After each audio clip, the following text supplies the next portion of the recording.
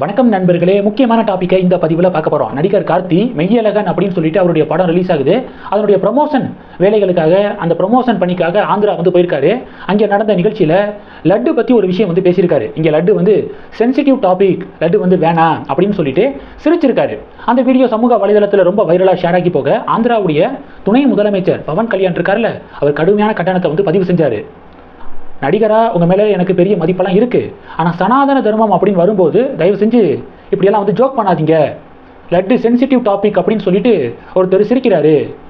இன்னொரு தடவை சொல்கிறேன் சனாதன தர்மத்தை பற்றி பேசுகிறதுக்கு முன்பாக ஒரு தடவைக்கு நூறு தடவை யோசிச்சு ஒரு கமெண்ட் பண்ணுங்க அப்படின்னு சொல்லிட்டு பவன் கல்யாண் அவர்கள் ஆவேசமாக செய்தியாளர் சந்திப்பில் பேசியிருந்தாரு. அந்த வீடியோ ட்ரெண்டாக ஷேர் ஆனிச்சா? அதனைத் தொடர்ந்து நடிகர் கார்த்தி மன்னிப்பு கேட்டார். மன்னிச்சுக்கோங்க. இன்டென்ஷனோட நான் வந்து எதுவும் பேசலை. அது மட்டும் இல்லாமல் திருப்பதி வெங்கடாஜலபதி இருக்காரு பார்த்தீங்களா அவருடைய தீவிர பக்தன் நான் அப்படிங்கிற மாதிரியெல்லாம் கார்த்தி அவர்கள் சமூக வலைதளத்தில் பதிவு போட்டார்.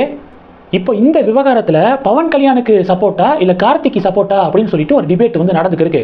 திராவிட கட்சி ஆதரவாளர்கள் எல்லாமே நடிகர் கார்த்திக்கு சப்போர்ட் பண்ணுறதை வந்து அதிகமாக பார்க்க முடியுது. கார்த்தி அப்படி என்ன தப்பாக சொல்லிட்டாரு? லட்டு சென்சிட்டிவ் டாபிக் தானே. இப்போ ஆந்திராவில் லட்டு சென்சிட்டிவான ஒரு இஷ்யூவாக தானே போய்க்கு இருக்கு அதை தானே சொன்னார் அப்படின்னு சொல்லிட்டு திராவிட கட்சிகளை சேர்ந்தவர்கள் பதிவு போடுறாங்க. லட்டு ஆந்திராவில் இப்போதைக்கு சென்சிட்டிவ் டாபிக் அப்படின்னு சொன்னது பிரச்சனை கிடையாது. சொல்லிட்டு சிரிச்சாரு பார்த்தீங்களா கேட்க புக்காங்க. அதுதான் வந்து தப்பு அப்படிங்கிறதா நிறைய பேருடைய கருத்தாக வந்து இருக்கு. பாஜகவை சேர்ந்தவர்கள் நடிகர் சூர்யா கார்த்தி இவங்களுக்கும் பாஜகவுக்கும் சுத்தமாக ஆகாது. ஏன்னா நடிகர் கார்த்தியாக இருக்கட்டும் சூர்யாவாக இருக்கட்டும் அதிமுக மாநிலத்தில் ஆளும் கட்சியாக இருக்கும்போது மத்தியில் பாஜக ஆட்சியாக இருக்கும்போது மத்திய அரசாங்கம் ஏதாவது ஒரு சட்டத்தை கொண்டு வராங்க அப்படின்னா இருபத்தி நாலு மணி நேரமும் கொந்தளிச்சு ஏதாவது அறிக்கை விட்டுக்கிட்டே இருந்தாங்க. ஆனால் திமுக ஆட்சி வந்த பிறகு அப்படியே சைலண்ட் ஆயிட்டாங்களா? அதனால பாஜகவுக்கு சூர்யா கார்த்தி மேலே பயங்கர ஒரு கடுப்பு. இப்போ பார்த்தீங்க அப்படின்னா பாஜக என்ன தெரியுமா சொல்கிறாங்க ஆந்திராவில் பவன் கல்யாண் போட்ட போடுக்கு நடிகர் கார்த்தி வந்து மன்னிப்பு கேட்டிருக்காரு. எதுக்காக தெரியுமா மன்னிப்பு கேட்டிருக்காரு? அவருடைய படம் இங்கே ஓடணும். தெலுங்கு மார்க்கெட்டை பொறுத்த வரைக்கும் சூர்யாவுக்கு கார்த்திகெல்லாம் சில ரசிகர்கள் வந்து இருக்காங்க. அப்போ பவன் கல்யாணம் பகச்சிக்கிட்டோம் அப்படின்னா நம்மளுக்கு தேவையில்லாமல் எதுக்கு வம்பு? படம். அங்கே ஓட முடியாத சூழல் வந்து ஏற்படும். எதுக்காக வம்பு? அதுவும் இந்த படத்துடைய ப்ரொட ப்ரொடியூசர் யார்? மெய்யழகன் படத்துடைய ப்ரொடியூசர் யார்?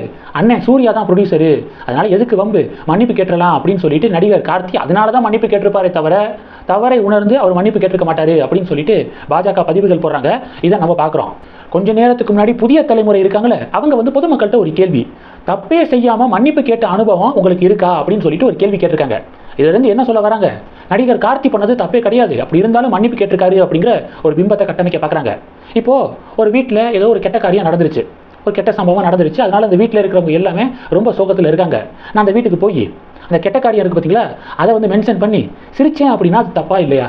அதுதானே கார்த்தி பண்ணியிருக்காரு. ஆல்ரெடியாக பொதுமக்கள் ஹிந்து மக்கள்லாம் ரொம்ப ஹர்ட் ஆகிருக்காங்க அதுவும் ஆந்திராவில் இருக்கக்கூடிய மக்கள் ரொம்ப ஹர்ட் ஆகிருக்காங்க அப்படிப்பட்ட சூழலில் ஆந்திராவுக்கு போய் லட்டு வந்து சென்சிட்டிவ் டாபிக் அப்படின்னு சொல்லிட்டு சிரிச்சா டெஃபினட்டாக மக்களுக்கு ஒரு பெரிய ஒரு காயத்தை வந்து ஏற்படுத்தியிருக்கும். அவர் பண்ணது தப்பு தான் ஆனால் மீடியாக்கள் எப்படி ப்ரொஜெக்ட் பண்ணுறாங்க அப்படின்னா தப்பே செய்யாமல் மன்னிப்பு கேட்ட மாதிரி ஒரு ப்ரொஜெக்ஷன் வந்து பண்ணுறாங்க அப்படிங்கிறத பார்க்குறோம் தமிழக மீடியாக்களை பற்றி தெரியுமே. சரி இப்போ விஷயத்துக்கு வரலாம். போகிற போக்கில் பவன் கல்யாண் இருக்கார்ல அவர் பிரகாஷ்ராஜுக்கும் ஒரு அடி விட்டுருக்காரு அப்படிங்கிறத பார்க்குறோம் திருப்பதி லட்டு இஷ்யூ நடந்துச்சுல அப்போ பவன் கல்யாண் அவர்கள் சமூக வலைதளத்தில் ஒரு பதிவு போட்டிருந்தாரு. இதில் யாரெல்லாம் இன்வால்வ் ஆயிருக்காங்களோ மிக கடுமையான நடவடிக்கையை எங்கள் அரசு வந்து எடுக்கும் அப்படின்னு சொல்லிட்டு பதிவு போட்டிருந்தாரு. ஏன்னா அந்த திருப்பதி இஷ்யூ இந்த லட்டு இஷ்யூ ஒய்எஸ்ஆர் காங்கிரஸ் ஆட்சியில் நடந்தது. அது இப்போ தான் வந்து ஆய்வு முடிவில் தெரிய வந்திருக்கு. ஸ்ட்ரிக்டான நடவடிக்கை எடுக்கப்படும் அப்படின்னு சொல்லிட்டு உறுதி அளிச்சிருக்காரு.